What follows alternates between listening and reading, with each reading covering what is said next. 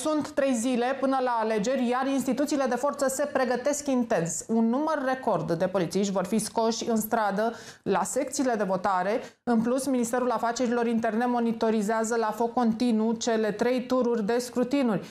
Forțele de ordine din teren uh, transmit toate datele în centrul de comandă al Ministerului Afacerilor Interne, acolo unde mergem și noi acum și stăm de vorbă cu invitatul meu de la această oră, chestorul uh, de poliție Bogdan Despescu, secretar de stat în cadrul Ministerului Afacerilor Interne. Bună ziua, vă mulțumesc tare mult pentru prezență. Bună dimineața dumneavoastră și telespectatorilor dumneavoastră, mulțumim de invitație. Vă rog uh, să ne spuneți în primul rând uh, cum arată așa pe ultima sută activitatea în acest centru de comandă și uh, ce se va întâmpla în ziua de duminică atunci când au loc alegerile. Ministerul Afacerilor Interne este pregătit pentru alegerile electorale ce vor urma. Suntem în grafic cu toate activitățile stabilite prin planul realizat la nivelul Ministerului efectivele de polițiști, jandarmi, pompieri vor fi la datorie.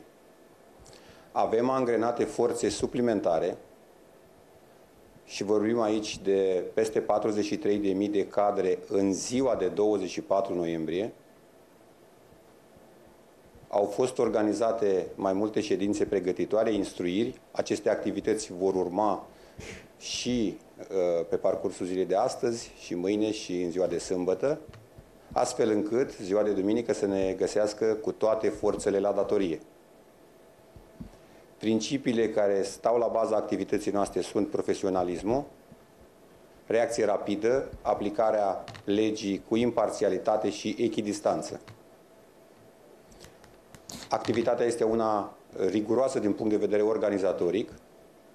Avem o platformă electronică unde înregistrăm toate sesizările, că vorbim de sesizările care le primim de la diferite persoane sau de constatările directe ale colegilor noștri din teren, toate sunt înregistrate de la nivel teritorial și se vor regăsi în această platformă în acest centru.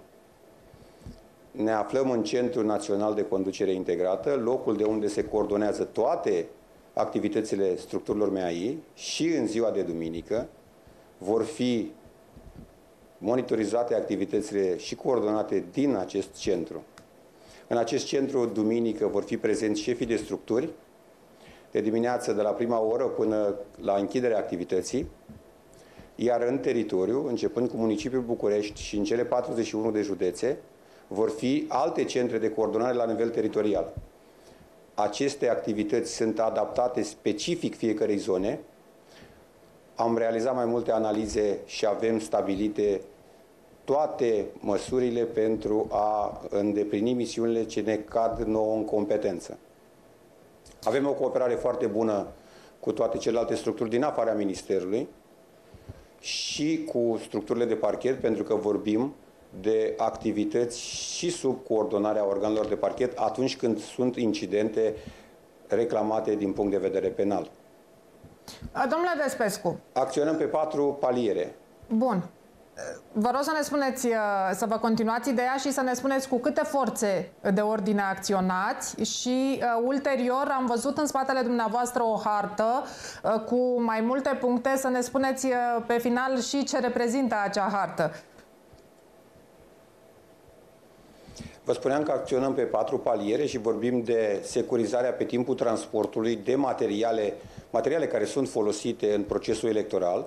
Avem o altă activitate importantă din punct de vedere al pazei locațiilor unde funcționează secțiile de votare, activitatea de menținere a ordinii publice și, nu în ultimul rând, pregătirea noastră pentru a cerceta orice incident cu care vom fi semnalați. Sunt echipe constituite în acest sens, atât în municipiul București cât și în județe, inclusiv în teritoriu, uh, mai mult decât uh, sediul inspectoratelor județene, vorbim de localitățile uh, din componența, din componența județelor.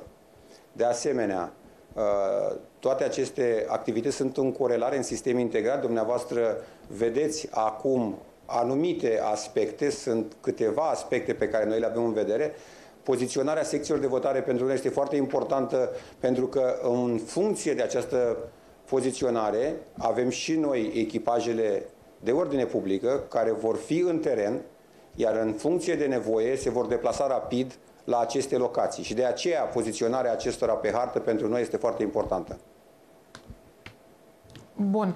Înțelegem așadar că vor fi monitorizate toate posibilele incidente din acest centru de comandă. Absolut, absolut uh, toate aspectele care sunt de competența noastră sunt avute în vedere. Bineînțeles, vă spuneam, în funcție de riscurile pe care le-am identificat, ne concentrăm cu forțe suplimentare în aceste zone, iar orice sesizare va fi gestionată rapid, înregistrată în această platformă de care vorbeam și cercetare uh, în consecință, cercetare care se realizează de echipele pe care le-am constituit. Vă spuneam de forțe suplimentare și am să vă dau încă o dată cifra. Pentru ziua de duminică, 24 noiembrie, vor acționa peste 43.000 de polițiști, jandarmi, polițiști de frontieră, pompieri, personal din cadrul Ministerului Afacerilor Interne. Bun. Dacă se poate să le reamintiți uh, alegătorilor cam ce ar putea păți în cazul în care uh, sunt uh, predispuși la încălca legea. Noi recomandăm tuturor cetățenilor să respecte regulile care sunt stabilite de către guvern și respectiv Parlament. Există o legislație. Noi vom aplica strict aceste reguli stabilite de legislație, iar acolo unde vom constata încălcări ale legislației, se va aplica fără niciun fel de subiectivitate aspectul legal, prevederea legală, într-un mod de imparțialitate și neutralitate. Vă mulțumesc tare mult uh, pentru această intervenție.